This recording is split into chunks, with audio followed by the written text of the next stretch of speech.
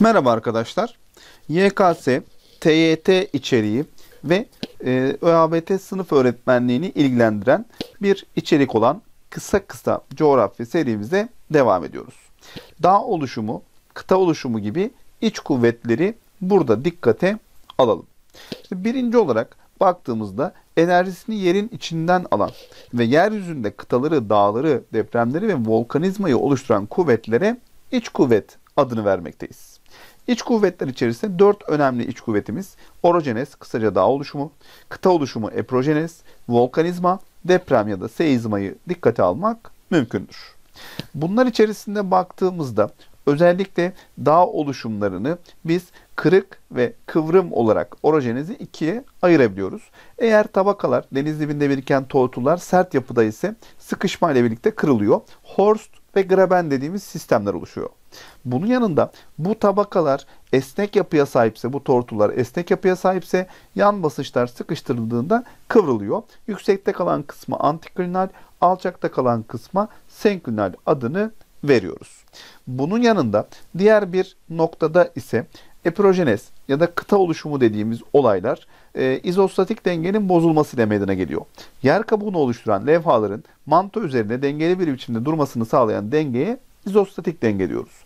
Bu denge bozulduğunda kıta oluşum hareketleri ya da epirojenez dediğimiz olay başlıyor.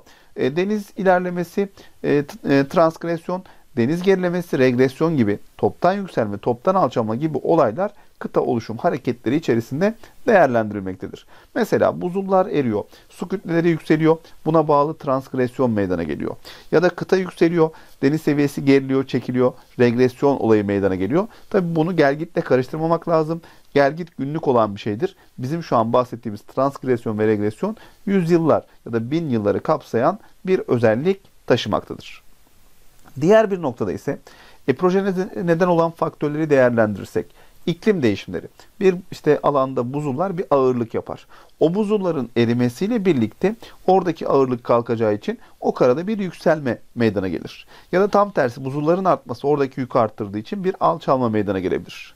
Volkanik faaliyetler sonucu çıkışlar oradaki ağırlığı arttırıp bir alçalmaya sebep olabilir. Lavlar. Bunun yanında aşındırma faaliyetleri yükü ortadan kaldırdığı için yükselmeye sebep olabilir. Tortullanma ya da birikme olayları yükü arttırdığı için bir alçalmaya, aşınan yerlerde ise bir yükselmeye sebep olabilir.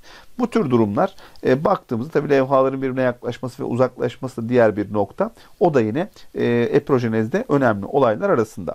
Deniz ilerlemesi, deniz suyunun yükselmesi ya da karanın alçalma sonucu e, su kütlesinin karaya doğru de ilerlemesi, devam etmesi, deniz gerilemesi ise karanın yükselmesi ya da su seviyesinin alçalması sonucu meydana gelen olaylar arasında sayılabilmektedir. Diğer bir noktada ise özellikle eprojeneze örnekler var. Örneğin İskandinav Yarımadası'nın her yıl yükselmesi.